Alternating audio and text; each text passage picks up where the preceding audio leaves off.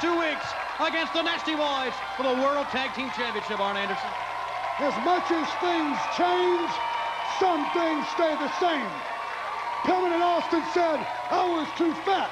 He was too stupid. This is the 90s. We were the 80s. They said it couldn't be done. Well, it looks like to me I've slimmed up and he must have smartened up because we were smart enough and skinny enough to take these belts away from you. Now, hindsight is 2020. When you insult a man, expect retribution. Now we move towards Fall Brawl. Pillman and Austin, you're... Wait a minute. Wait a minute. The blondes are out here. Gentlemen, before you get too carried away with these delusions of grandeur, let me remind you of one thing.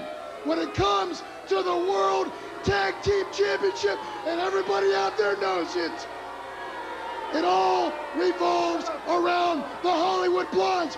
We write the script. And I can assure you of one thing.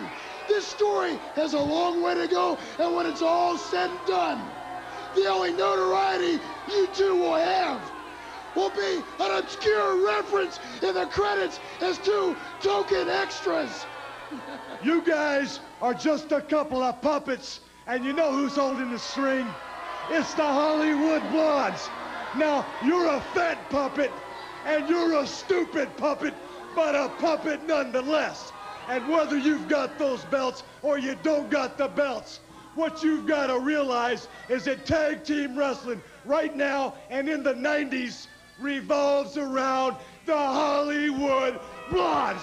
Hey, you can call him stupid and you can call me fat. But since you're the script writers, you're going to have to call us one thing for a while, and that's champ. Dig it?